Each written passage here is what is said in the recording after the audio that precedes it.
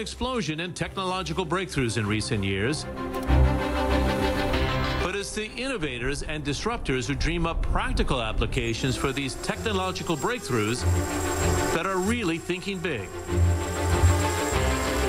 One that many are finding ripe for innovation is 3D printing, like this R&D center, which was built using the technology. And here in Dubai, there are a number of companies using the technology to pursue their big ideas. Fahmi Al Shawa was one of the early adopters of the technology. So this is 17 hours, and today we have yeah. one more print. Oh, no? Setting up Immensa Technology Labs in 2016. Our big idea is completely disrupt the oil and gas spare parts business.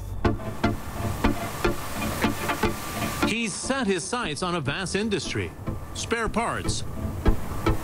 From nuts and bolts to metal inserts and valves are used to replace old or broken parts and equipment.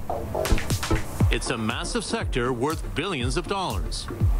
The nature of spare parts is they sit on shelves. People stock spare parts in case of failure and they need to use it. So uh, they're non-effective and non-utilized assets.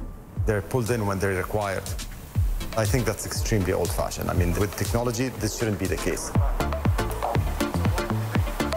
Using an array of 3D printers, he has started printing spare parts only when they are required. 3D printing is more digital and modern way of manufacturing.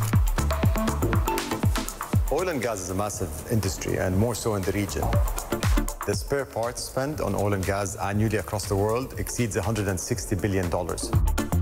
The amount of wastage, amount of uh, consumption in spare parts is massive. Fahmi and his team of engineers are building a digital library, aiming to have a copy of every spare part in oil and gas storing the images in the cloud using 3D printing to replicate them.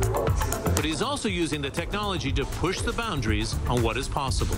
Traditionally, this is a part that's a consumable. It uses carbon steel, and any refinery would consume hundreds of these a month. With 3D printing, we were able to replace the conventional material with titanium. It lengthens the lifespan by almost double, from four years up to eight years. Now we're actually optimizing it even further using high-performance plastics that can withstand temperatures of 300 degrees Celsius, and it costs a fraction of the conventional method and much faster to do. A disruptive technology, 3D printing is saving time, costs, and waste, and is revolutionizing the manufacturing industry. According to investment firm ARK, 3D printing is set to grow at a staggering annual rate from $12 billion last year to $120 billion by 2025. Seeing this potential, Fahmi has big ambitions. We want to be the biggest in the world. We want to have the largest library of oil and gas digitized parts ready for print. It comes to 3D printing, few sectors are being left behind. And it's the reason why Julian Callanan left his job in oil and gas consulting. I kind of felt a little bit unfulfilled. I wanted to make tangible things which had real value for people and for society. I bought my first printer. It was installed in February 2017, and from there we've added printers, we've added people, we've added software, and built up the business. What is my big idea? My big idea is to use 3D printing to personalize medical care for everybody.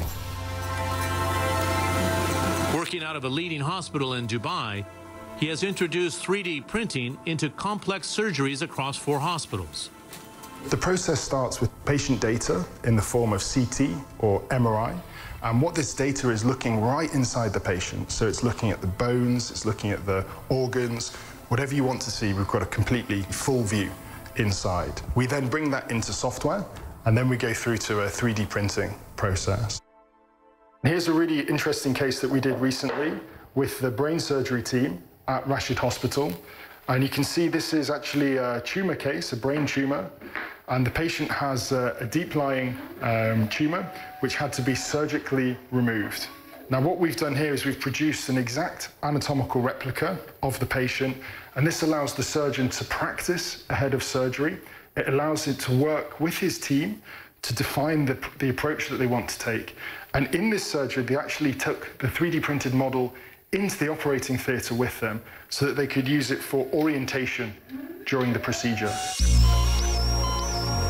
The technology is bringing proven benefits. According to a 2019 study published in Academic Radiology, using 3D technology in complex surgeries sees 62 minutes less time spent in operating theaters, which could save more than $3,700 per surgery.